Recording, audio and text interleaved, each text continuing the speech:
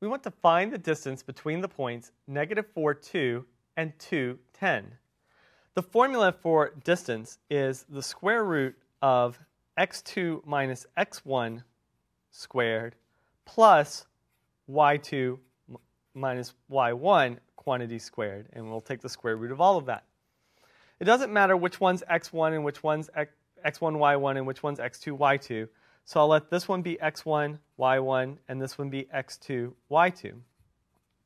So the formula is going to give us the square root of 2 minus a negative 4, quantity squared, plus 10 minus 2, quantity squared.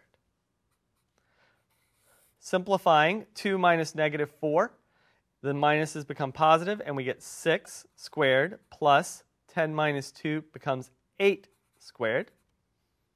So we have the square root of 36 plus 64, which is the square root of 100, which we happen to know is 10.